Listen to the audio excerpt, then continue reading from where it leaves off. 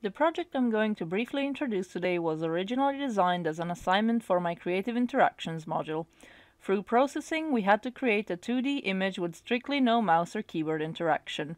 I opted for a watch as I was looking for a challenge and thought it would be fun to recreate something I was familiar with.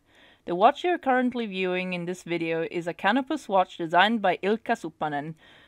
The watch itself belongs to my father's unflourished business known as Amanzoni and Fils. I'll leave a link in the description for reference. The super elliptic shape wasn't easy to recreate as I had to manually manipulate the corners of a square to smooth them out and bend lines to obtain the right type of angled curve. For the algorithm development, I utilized a combination of cosine and sinus waves, which allowed for the watch to turn in a clockwise manner.